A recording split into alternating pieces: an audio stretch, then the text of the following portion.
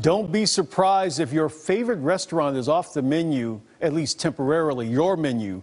Workers have been getting sick with COVID or the flu, and some restaurants say they just don't have enough staff to operate right now.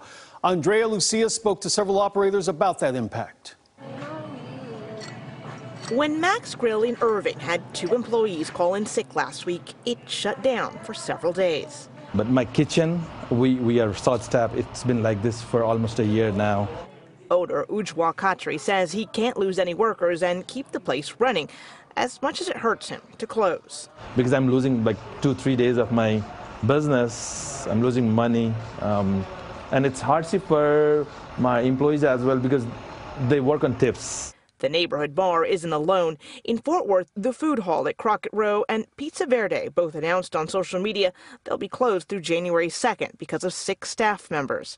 Easy Sliders in Grapevine has closed as well due to COVID exposure within our team. As any single person who shows up, if you feel any symptoms whatsoever, if you've got a cough, a sniffle, it feels like allergies, anything, let's start testing. And we had a handful of positive tests. Jon Bonnell canceled hundreds of reservations and limited his namesake restaurant in Fort Worth to curbside service only after six employees there got sick this week.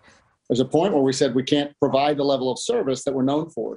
Um, as folks know, we've had a pretty severe labor shortage.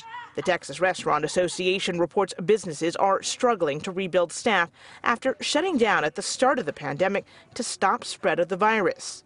78% of Texas restaurants, it reports, still don't have enough employees to meet current demand. This time of the year, we used to have a lot of fun. The holidays and New Year's often bring in a lot of business. Instead, this year, owners are asking you be kind please uh, just have a little patience. Now, restaurant owners ask that you keep supporting your neighborhood mom and pop businesses. With Omicron cases rising, you may want to call ahead to check that they are open on their normal days and hours. If they are not, there are sometimes to go options or gift cards you can buy to help keep them going. In Irving, Andrea Lucia, CBS 11 News.